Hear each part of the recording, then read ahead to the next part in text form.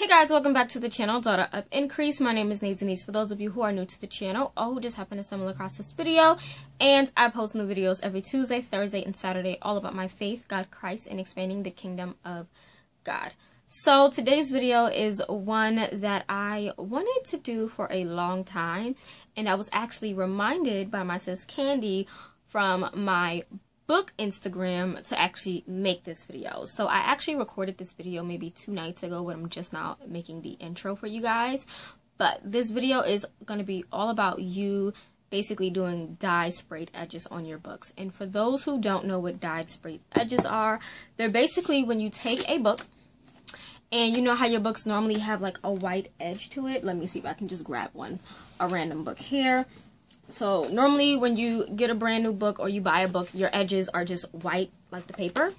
But in the booktube community, there is something called dyed sprayed edges or just sprayed edges in general, where sometimes they have limited edition books that come out with different colored edges.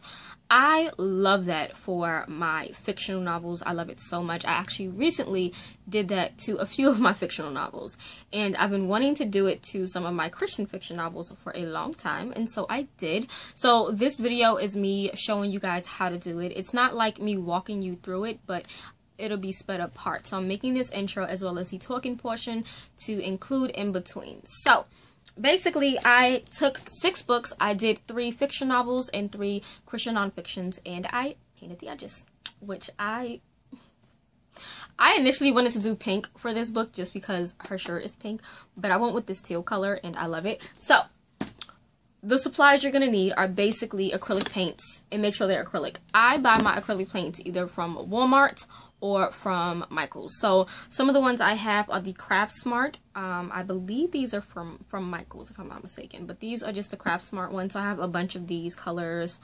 I have some metallic ones. I have classic gold. I have sapphire, which I love this color. And then the other brand that I've come across is called Folk Art. Um, looks like that, Folk Art. So you, need different colored acrylic paints. Then you need brushes. Um, I just use these. I even use a Crayola paintbrush, just any type of brush. You also need something to put your paint into, so it can be a palette, a, a, little bowl or something. I bought a bunch of these little disposable bowls, I think either from the dollar store or from Michael's, can't remember, but I bought a bunch of these. And um, when I say I have a lot of paint, you guys, I keep my paints inside of here. Um, pretty much basic colors, but I do have every now and then the fun colors and stuff like that. So I love, love, love, love painting the edges of my books. And I'll throw a picture up here right now of the ones that I had recently did and posted on my book Instagram account, which is Nays Pink Bookshelf. But um, I posted this picture because I was I was bored and decided why not. So I painted my books, and um, I've been wanting to do it for a long time on my Christian books, and I finally did it. So, like I said, I did three nonfiction, and then I did three fiction. So the fiction novels I did was The Camera Never Lies by David Rawlings. This is contemporary fiction, and um, it's about a guy and his family, him, his wife, and his daughter. There's marital issues, there's family issues, and he gets hold of an old camera, and every time he takes a picture, the camera reveals something that could basically destroy his family and relationship. But for this one, you guys can see the colors. You have this kind of teal and blue and turquoise and hints of purple. So I went with lavender and I love it so much. And the pages turn just as fine. Um, now it is a long struggle. Um, which I'll show you guys shortly. But then I did this one, which is Arcade in the Triple T Coin by Rashad Jennings, which is a middle grade fictional novel teal, of course. And then I did this book here because I love it. And I'm going to show you guys what I mean in a second by how hard it is. But um, The Girl Behind the Red Rope by Ted Dekker and Rachelle Dekker? Yes. Ted Dekker and his daughter Rachelle Dekker. And I did this in black. The reason why I did it in black, it was originally going to be red, but the actual hardcover is red. So I went with black to match the spine. And you can still see my tabs. Um, now, I left a few pages in my book stuck together so I could show you guys the process. So, it doesn't take long. It's a really quick process um, painting because acrylic paint quick dries quickly. But the process situation comes in when you're separating your pages. And I want to show you guys this because it could be scary. The first time I did this, I freaked out because I thought I was working my pages. But if you guys can see here, I'm looking at the, the, the camera instead of the lens to make sure I'm in frame. But you guys can see it's stuck together. And you just pull it apart. So I'm going to try to... Okay, so this one, there's a bunch of pages stuck together. Hopefully you guys can hear this. It sounds like I'm ripping the pages, but I'm not. So if you're going to do this, beware that it will be a little scary because you have to pull the pages apart and it sounds like you're ripping your pages. And for me, I freaked out the first time I did this because I was like, oh my god, I'm ripping my pages. But then the more I got into it, the better I got. And now all of my pages are separated. So I can just fan through my book no problem. So I did this one in black and we're gonna keep moving. So moving on to the Christian nonfiction, because I said I did three of those. I did Suffering is Never for Nothing by Elisabeth Elliot. Um, I did this, and I did it in gold just because the hardcover itself is navy blue with gold foiling, so I did gold for that one. Tony Evans Pathways. I love this book, five stars, definitely in my top for 2019. But I did rose gold for this one. So gorgeous. And I did remove the tabs. I put the tabs on the inside of the book, which you will see in the video. But, um, yeah, so if your book has tabs, I would suggest doing this with a book that you haven't read yet. Or if you have tabs in your book, you would have to push them further into the book so that they're not painted on. It can be a hassle, which is why I prefer to do this on, like, freshly read books. so, yeah. And then we have this one, which I think I'm loving the most. Lies Women Believe by Nancy DeMoss Wolgemuth, and I did this one in red. So, basically the first step you need to do is get your materials, which is your acrylic paint, something to put your paint on, and some paint brushes. The second thing, your second step, is basically to select the books. You can do this with paperback books. I will do a video on that because I recently did a paperback book myself and I loved it. Paperback seemed to be a lot easier to do than hardcovers for some reason, but we'll get into that. Um, so you need your paint your brushes and something to put your paints on. You're going to need to select your books. The third thing you're going to need is some type of extra paper. It can be newspaper, it can be construction paper. I use construction paper because what you're going to do is you're going to take off the dust jacket and wrap the construction paper around your hardcover book or your paperback cover so that you're not damaging the cover itself. You'll see that in the video. Um, and then you're just basically going to paint your book. And one coat is really all you need. I buy opaque paint, so I don't ever really find the need to go over multiple times. I do go over twice just because that's just me in general. I even when painting my nails, got to do three coats. So on the book, I normally do two thin coats so that I make sure that it's opaque enough. Um, you guys can see like there's nothing like, I mean there's a little splotch here and there, but it doesn't look too bad. So basically that. Um, after that, what you're going to do is move it to the side and let it dry. Once you let it dry, you're going to take off the construction paper that's covering up your hardcovers cover, basically. And then you're going to bend the pages slightly and you'll see in the video what I mean by bending the pages but you are going to bend your pages so that it can loosen up the paint a little and then ever so slowly page by page you're going to pull your pages apart because the paint will cause the pages to stick together. Most people don't do acrylic paint. They prefer to do um, actual spray paint, which is definitely easier and cleaner to do just with spray paint. But the thing with spray paint is the fumes and stuff like that, which is why I prefer acrylic paint and it's very therapeutic for me. But um, you are going to ever so gently take your time and pull your pages apart. And that honestly is where the time consuming portion comes from because depending on how big your book is, you're going to be sitting there for a long time pulling pages apart and pulling a page because you want to make sure your pages are good. Now, again, I would suggest if this is your first time doing it and you're not 100% sure about doing it, use a book that you don't care for, like, or not even that you don't care for, but use a book that you could easily go by and replace. Um, like I said, the first time I did this, I really didn't care how it came out. Um, I well, let me not say I didn't care how it came out. I didn't care if the book got damaged per se, but it came out perfectly fine. There were some errors here and there, but I've learned to improve over the time. I recently did a bunch of my other books, and I'm actually gonna grab some of them for you guys to see how they look. Hold on. Okay, so I did a paperback book. This is a paperback. This it, these books are not Christian related, but I'm showing you guys so you guys can see.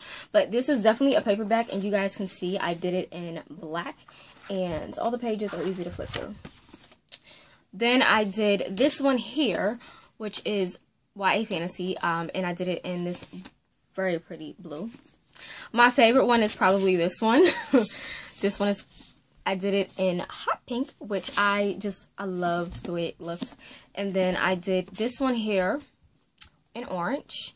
And these are the ones that you guys saw in that photo I posted. And then this one I did in gold.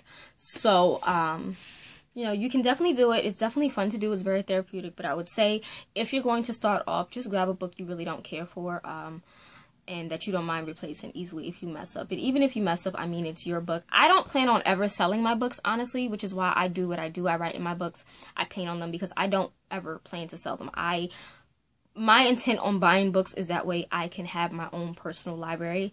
Um, I do have books that I will be giving away to my library, but other than that, I don't plan to sell books, so I don't mind writing and painting on them. So this is just something you guys can do if you're interested. Um, I again I love the way this looks like on my shelf. It's going to be so pretty.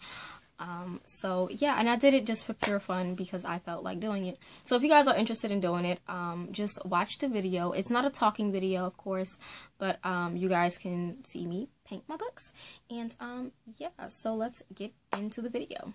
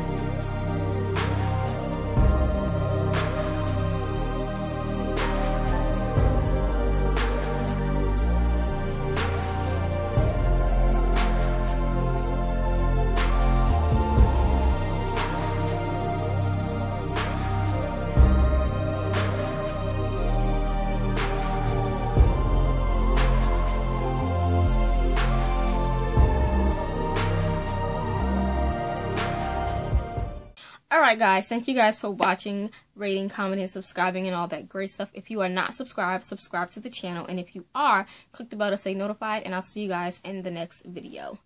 Bye.